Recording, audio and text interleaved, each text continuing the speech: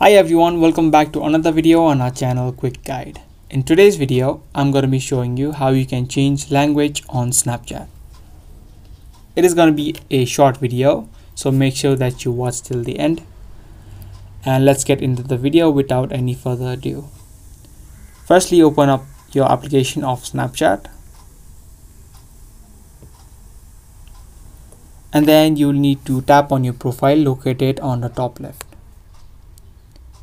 From here you can head over to the settings located on the top right of the screen. You could see an option for language.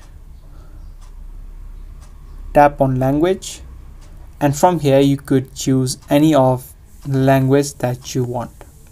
Now to change the language that you want you can select the language. There are a lot of languages that you can choose from. Simply tap on the language and then tap on change after that your you will need to close the application and then reopen it.